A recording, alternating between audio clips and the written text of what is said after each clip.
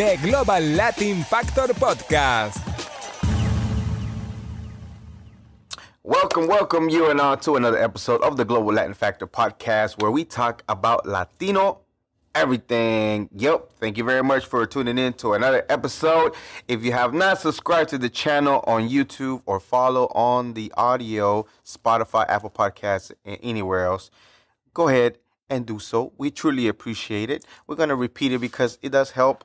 Science says I'm not. I'm not saying that. I didn't. I didn't Google that because Google had failed me on the last episode, so I'm not gonna do that. However, it does help whenever you subscribe, whenever you interact with us, and we would love to get feedback from you to expand whatever it is that we are doing. Uh, I love the fact that we get to interview people within our area right now, and then you get to see what they're doing, and uh, they're Latinos. And even though I'm open to having uh, somebody that's not a Latino just for the same thing of getting their perspective as far as what they see whenever they interact with us, what a misconception that they might have about us, and kind of sort of just you know just sit down with people, with people at the end of the day, whatever society or whoever is trying to do separate whatever it doesn't matter. We're just one. I said a long time ago that if like some kind of alien space force came to invade us. We quickly to come together as one uh, humanity to try to defend ourselves if they came in uh they were they didn't have the best intention for us. So that's one thing. Okay, so again, subscribe to the YouTube. If you like in the merch, we have different kind of merchandise. Go to the website. It's always in the description. However, it is thegloballatinfactor.com, thegloballatinfactor.com. You'll find the recent episodes, you'll find the store, and you'll get your stuff sent by Amazon. They print all this beautiful stuff out. So go get your shirt.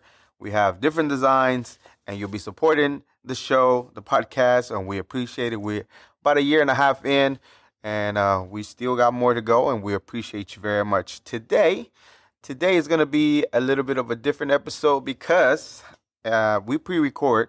However, pre-record the episode. However, the uh, 26th of September, I had an appointment to take an oath to become a U.S. citizen, and when, and I want to talk to you about that. Um, so I wasn't really gonna make a anything about it. I wasn't so I wasn't gonna really talk about it or anything like that. I, I did post something about it because I think it is a very significant accomplishment, especially being a veteran. That's what people gets they get thrown off by that fact that I, I was able to serve but at the same time, I wasn't uh, a, a, citizen of the U.S. But I'm going to go through that.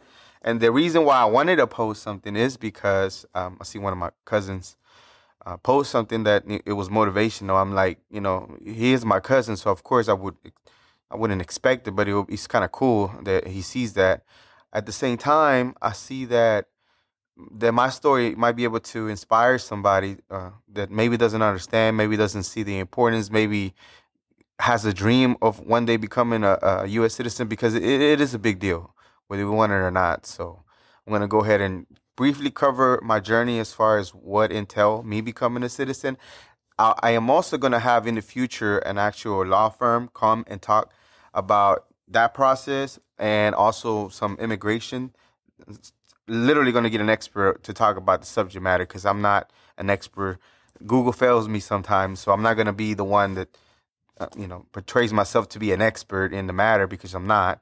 However, I am going to get a firm to come and talk to, to us about certain things. I'm just going to give you my perspective, my story as far as what it entails. I'm going to go way, way back, but not too too far back. I'm not going to go uh, the morning that I was born at 5 a.m. and blah blah blah. No, I'm not. But I am going to talk about uh, this is what I'm going to be calling my uh, American journey and my journey to my American dream because you know you ultimately need the American dream uh, citizenship, not necessarily, but you know it's part of I guess you could say the package of uh, completing the American dream that everybody sees on TV, everybody talks about. So first, uh, I was born in Mexico. I was born in Mexico. Uh, got here to the United States when I was 11 years old. We crossed illegally. Um, I'm not going to go in too much into detail, but we had to cross the border, cross the the river, um, go under go under a fence, run, and hide in a hotel and then you know make our way over here. Now, the journey was my grandpa had to. My mom and my dad were already here, um, so you know it was only right that we were separated at that time. I really didn't. I was I was 11 years old. I was naive. I didn't really know what's going on. You know, at that time we just focused on going to school and you know just doing good in school, playing with your your your kid. You're a kid you know, especially being where I'm from, very small town, very naive about everything there is. A lot of the things that I've seen were on TV, so that's the time that I I got to see outside of where I was from. Uh, so finally, my grandpa drove us to the border, and again, we crossed over illegally. We got here, and we, attended school, and we began to go into school. And this is gonna sound ignorant as hell. This is gonna sound real ignorant, but when I first got here to the United States, first I only knew Spanish. The first time I ever seen somebody that was redhead and freckles, first time I ever seen an African American in my entire life, except for on TV. And I was so naive that I asked whoever was helping me to uh, let me know if I was asking, do they all know Spanish? Like, they're not gonna know Spanish if we're in the U.S. But it was just my ignorance and my not being naive and not knowing much about the world so I went went and did that, and you know, just shocked about everything that was going on. Everything where I'm from is again, it's a small little town. A lot of the times we have to walk. We used to ride horses to get to certain places. Uh, we had to take taxis to go. If we needed to go to get groceries or anything, we had to walk miles to get that. To go to school, we needed to walk. So all that was we had everybody had cars here. It was a way different story. So we went to school. Um, you know, just finally, kind of sort of worked the fact that I wasn't in my little town anymore, and then I realized this is a different world. So the culture shock itself of how the U.S. works compared to where we from. At the same time, uh, again, the innocence, the ignorance of not knowing really, uh, being in a, a totally new world, and then I noticed one time when I was I went to school everything, but I did notice whenever we used to have our, our social, it did say not permitted to work. So that was part of the part of the things that we had to that kind of told you that you're not you're not here to work, you're not able to not really fear, but uncertainty that you're not really here or you're not being welcome at this time. You're not able to function function like everybody else. Even as a young age, I, I realized and I read that verbiage that it said that I'm like, okay, so what's gonna happen when I'm ready to work? Uh, but I was still a kid, and then eventually, we, uh, my dad was uh was a resident. He's the one that applied for for us, and he first of all, the process of applying for from a resident uh, to get your family, immediate family uh, there's a few requirements. I don't know 100% of everything. I know that you have to, you know, we're his kids and and my mom too, so his wife. But I know you have to pay a lot of money. I know you have to pay a lot of money to an attorney to file all the paperwork and everything because uh, if you don't know the language, my, my dad didn't know the language, um, then you're not gonna know really what to do. So you're gonna have to seek somebody. He found an attorney. And he was able to file the paperwork, and once all the paperwork start filing then of course you have to uh, pay a fine too because you crossed illegally. That's part of the process. This I remember because you know you got here without permission and you have to take care of it. So my dad and my mom put their money together and did all that.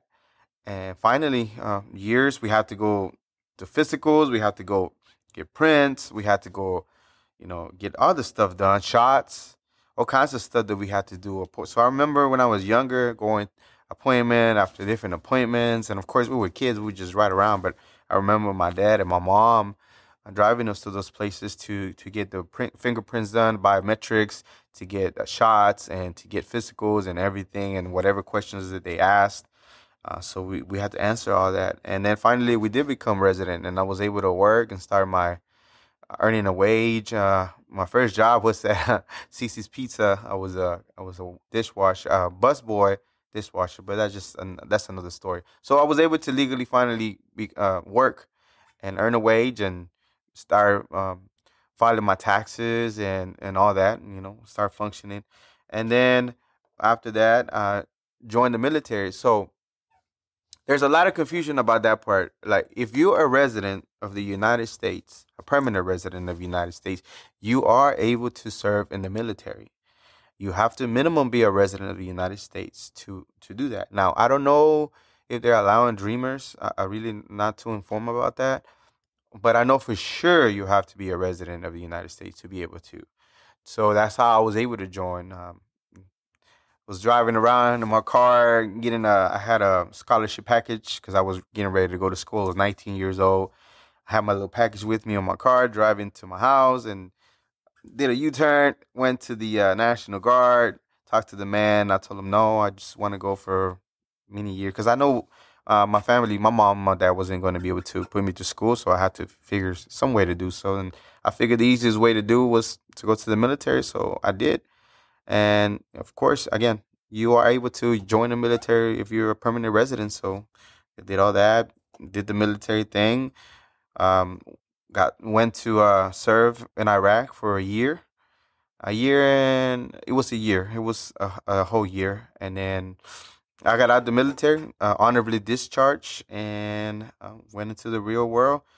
At that time, so whenever they say you're a permanent resident, that doesn't mean you can't lose your residency, right? There's things that happen that you have to still act accordingly.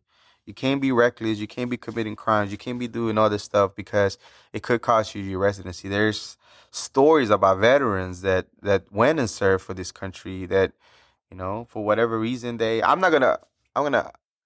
I did a lot of self-inflicting things that I didn't need to do. I don't know why I was acting reckless. I don't know if maybe because of the deployment of the things that I seen when I came back, I was feeling like I needed to live, and certain certain parts of that meant for me to party, and of course I'm a young adult, so that included alcohol, and I I, I did some dumb stuff. I put myself in a, a very bad predicaments that I got myself in trouble, and I I had to pay a lot of fines uh, related with alcohol, and you know, I started doing more self help, but I'm not gonna blame it on nobody. It was my, it was my responsibility. I self inflict whatever the case, what it was, uh, whatever it was, it was I was doing it myself, and I was able to get out of it. But at the same time, I was putting my permanent residence in jeopardy because I kept getting in trouble because of that.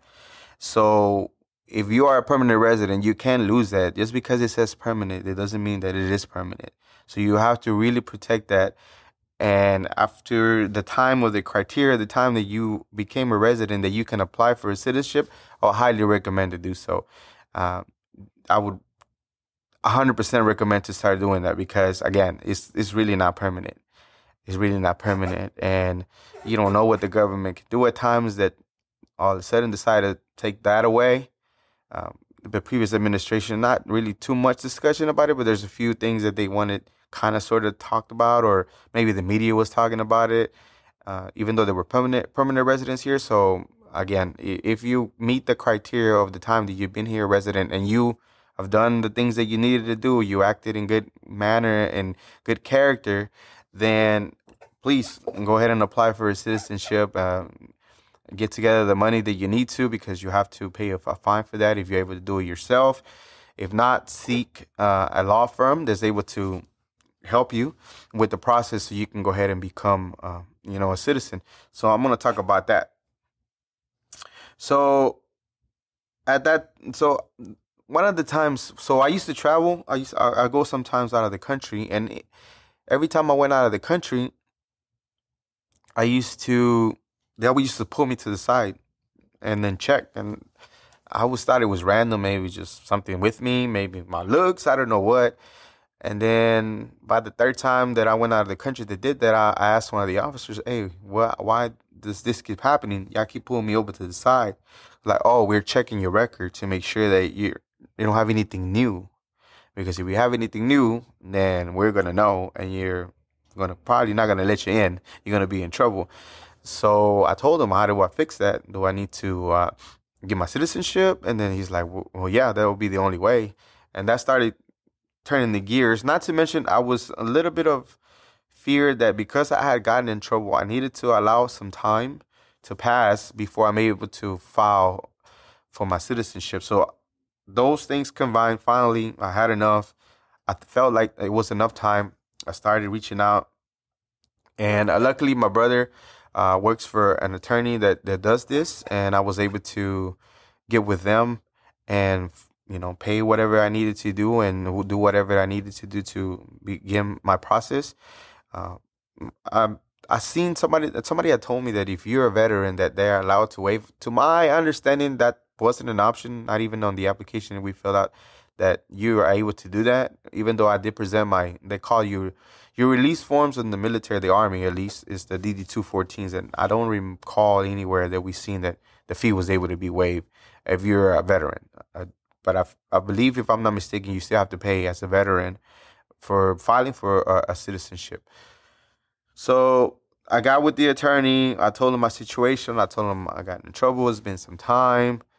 Uh, I think that I, I, should be good.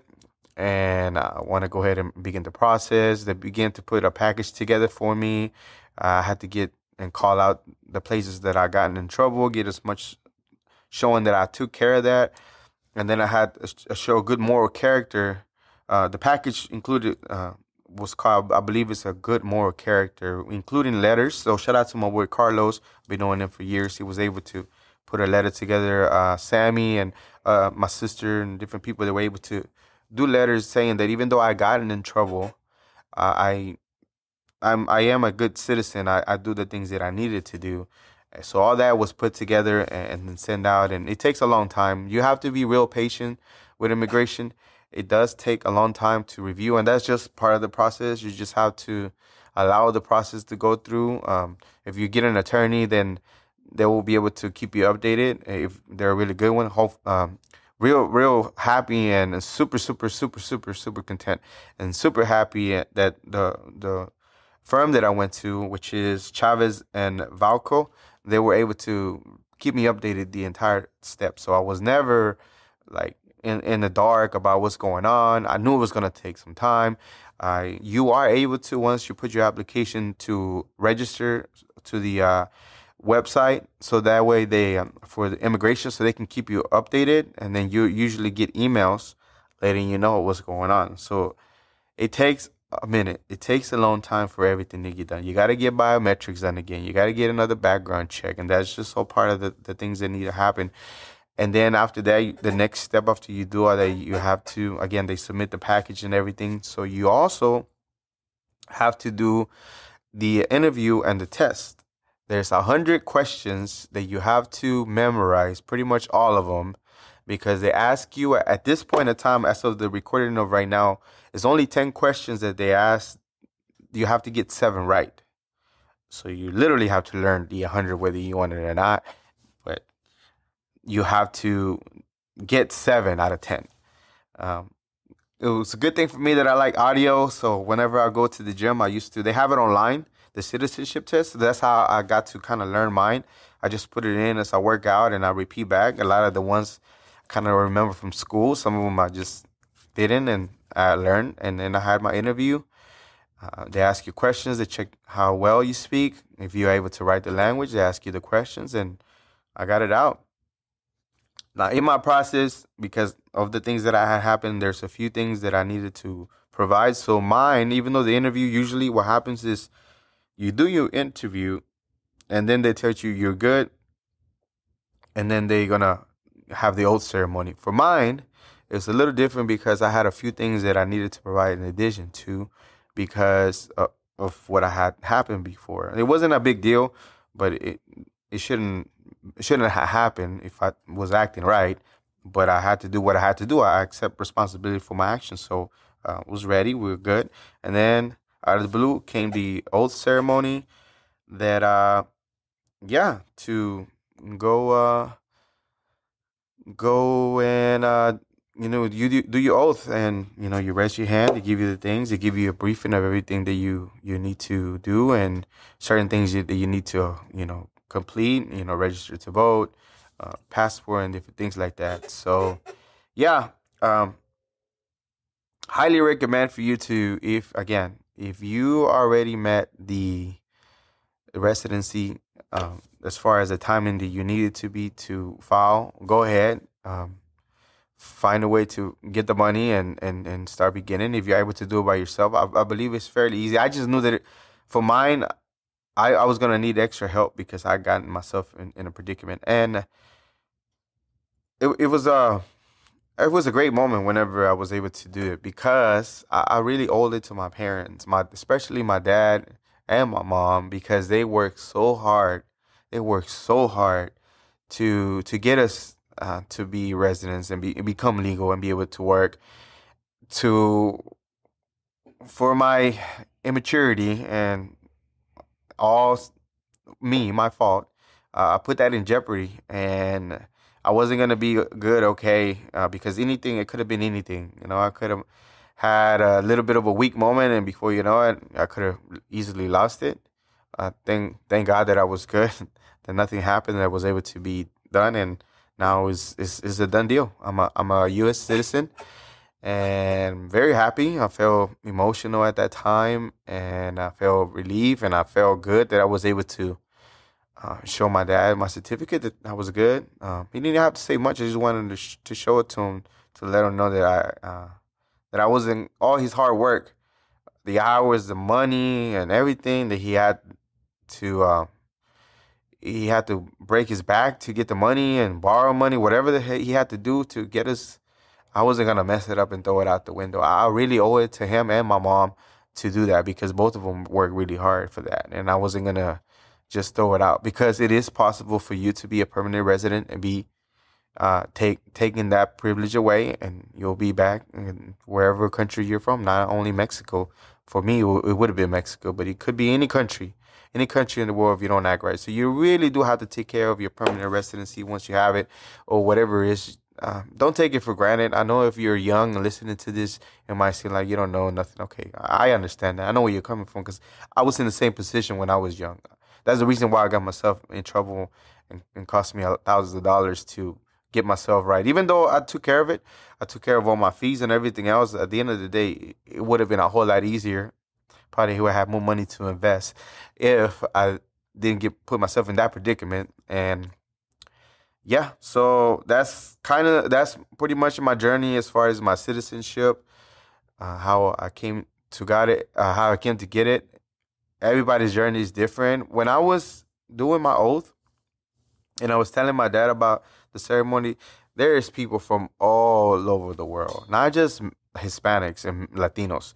There's people from all over. There's people from Asia. There was people from Africa. There was people from Europe uh, South America, um, all over the spectrum of the world. Every single ethnicity, every single de- is present. It was present there, and it tripped me out because that's that's what it really is all about, right? I mean, some of these things sometimes they discuss on the news, but sometimes they don't show how diverse those ceremonies are. It's just not Latinos. It's a bunch of different people that are there, and it's it's beautiful to see that it's not just that we are th- this is what the country the U- united states now i'm not to say america because america to me is not only the us but down there the us has all kinds of different ethnicities and all kinds of different backgrounds uh, and then you know it's kind of you can see it right there the big melting pot in, in that oath ceremony of so many people that are there and it's beautiful to me. I think it's awesome that people are able to to strive to to pursue the american dream and you know to me i feel this is a step in that direction. So yeah uh, i encourage you to to uh, once again i can't stop stressing enough to take care of your of your permanent residency and once you met the expectation, you know, start beginning to see in the process. It's not super hard. The test is very easy. Some of the things you do have to arrange to do appointments, but it's just, it's not really super hard at all whatsoever. Especially if you don't get in trouble prior to, you don't have any concerns. All you got to do is file the paperwork. And that's pretty much it. Now, uh, I am, as I mentioned earlier, I am going to have a firm to come and talk to us about not only citizenship and, and my experience, but also talk about immigration. If if if for whatever reason you're listening and your status is not uh, legal, then you know what are the options? Where do you start? All the uncertainty that people don't know where to start. I still say it to this day. You don't you fear what you don't know. Like if you don't start asking questions, if you don't start informing yourself of what is the first step, where to even go to, then we're going to talk about all that so that you are able to know exactly where you need to go and how to even begin the process of talking to somebody. Uh, so that way you can, you know, it, it's a peace of mind. It really is. Now I'm, I'm, I'm, I'm always been in peace, but there's always this back in the mind that like you're still a permanent resident. You're not fully. Any time it could be taken away if you something happens. So now, like even though I sleep well, I can really sleep extra well for the same reason that I'm good. I am freaking good now, and I'm truly, truly blessed uh, to to be able to have completed that journey of my life and, and do that. And I registered to vote immediately, and I'm gonna exercise my my my duties as far as a citizen whenever the time comes, uh, because uh, yeah, it's, it's part of the things that we have to do.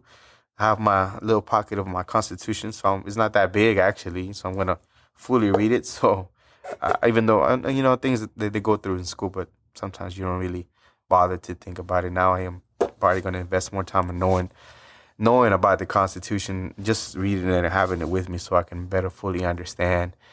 And uh, yeah, that's pretty much it. Um, if you have any more questions, you can leave them in the comment. I'm probably going to put some TikToks about this. Uh, but if you want to, you know, ask me questions, it off my experience. Again, I'm not. But be on the lookout that we are going to have an expert come and talk about the matter. So that way you'll know where you need to go, what you need to do, where you even begin.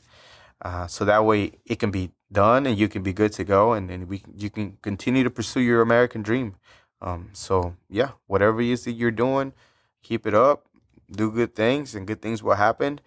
And yeah, that's pretty much it. I really wanted to share this piece. I know it's different content than what we usually do, but I felt as I mentioned, that hopefully can motivate or or somebody that listens to it can be, oh man, I, I've been thinking about it, but I don't know. Okay, well, hopefully you're able to know that it's not super hard and you can get it done yourself or you can reach out for help. But you know, it's it's a, it's a I don't know, it's a feeling. It's a feeling to know that you're you're an American citizen now and you're in I know sometimes they feel like they selling it to you to be the countries, but I really feel that it is a it's a great country. It's a great country to live in. It's a beautiful country. It's, we got we got freedoms that we don't really realize and take for granted. Sometimes we are a little shelter, uh, shelter and kind of also naive now, but we do have to expand our minds as far as everything else that it is in the world. We have to be open minded about everything else, but it, it's so so peacefully here. Everything's so easily here to do, pretty much. So, yeah, definitely have to enjoy it. So. This was another episode of the Global Latin Factor. Okay, remember, subscribe, go like, go comment. We will have more content for you. Go visit the website if you want some merchandise. Go pick you up. We don't have the cup there, but you know we can definitely put a link to a cup if you like one of these beautiful cups. And again, once again, this is another episode of the Global Latin Factor podcast. Remember, we are just like you with the spice in this melting pot that it is the world. Until next time.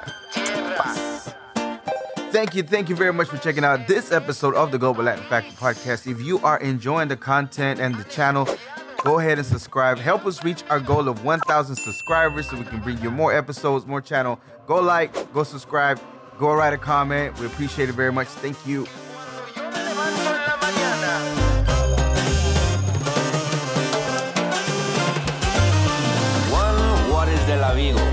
Like pero but in fact it's a flamingo. Coming to Havana, Henry from Puerto Rico. On a pirate ship, you don't know where do we go. The birds of the jungle chasing fortune and